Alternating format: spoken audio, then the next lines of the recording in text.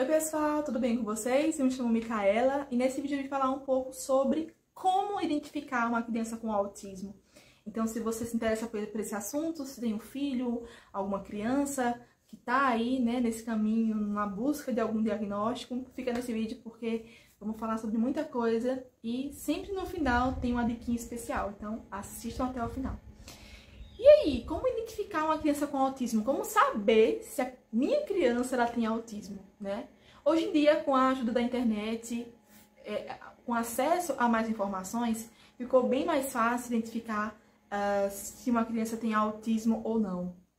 Porque antigamente o acesso a essas informações e o que, né, o que as pessoas sabiam a respeito desse transtorno era, um, era muito limitado. Então era mais difícil uh, saber, né? Se a criança, se o jovem estava dentro do espectro ou não. Hoje em dia é diferente, porque nós temos acesso à internet, a livros, a mais informação. Então nós temos é, essa, essa, esse poder de diagnosticar o quanto antes essa criança, para que ela possa ser tratada precocemente.